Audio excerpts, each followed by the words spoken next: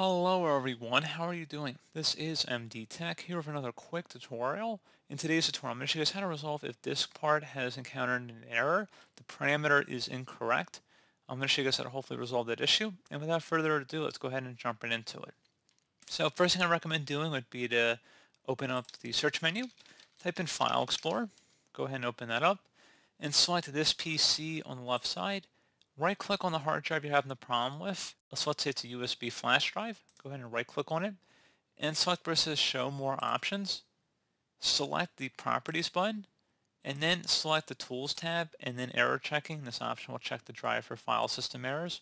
And go ahead and select the check button and then select scan drive.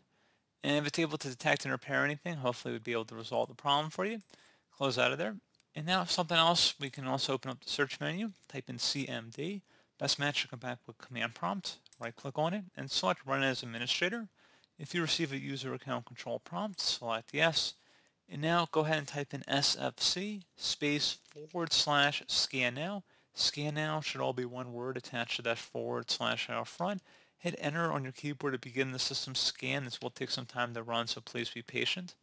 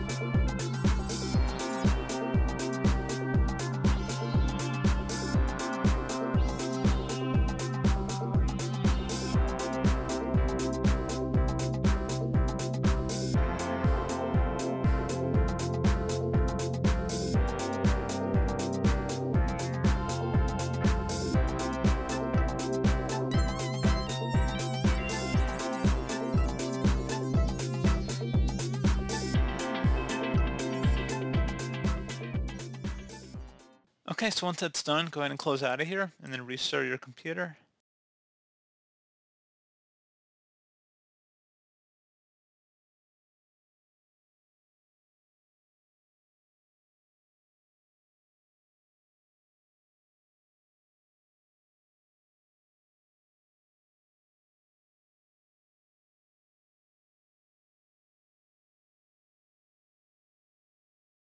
And there you go guys. So hopefully this point that has been able to help resolve your issue. And as always, thank you for watching. Do hope I was able to help you out, and I do look forward to catching you all in the next tutorial.